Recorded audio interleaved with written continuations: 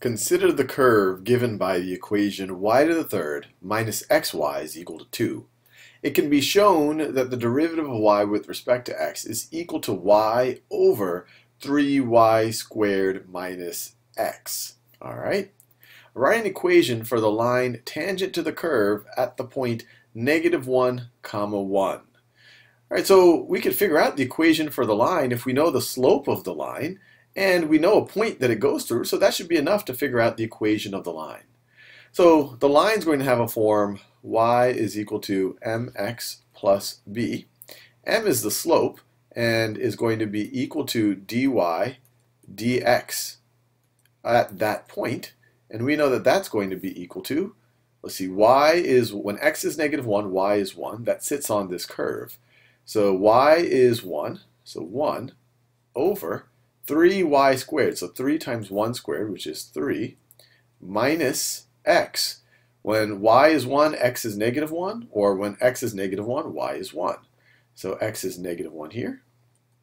And so this is the same thing as 3 plus positive 1.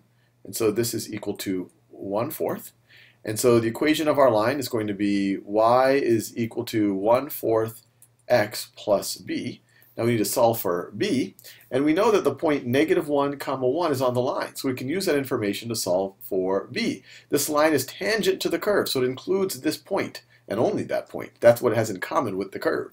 And so y is equal to 1 when x is equal to negative 1 plus b, and so we have 1 is equal to negative 1 fourth plus b. You add 1 fourth to both sides, you get b is equal to, we could either write it as 1 and 1 fourth, which is equal to 5 fourths, which is equal to 1.25. We could write it any of those ways. So the equation for the line tangent to the curve at this point is y is equal to, our slope is 1 fourth, x plus, and I could write it in any of these ways.